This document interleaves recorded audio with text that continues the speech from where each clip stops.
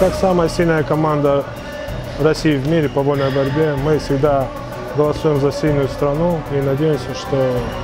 сильная страна – это та уверенность, которая может нам в дальнейшем году побеждать не только в спорте, но и в политике, и в экономике, и везде.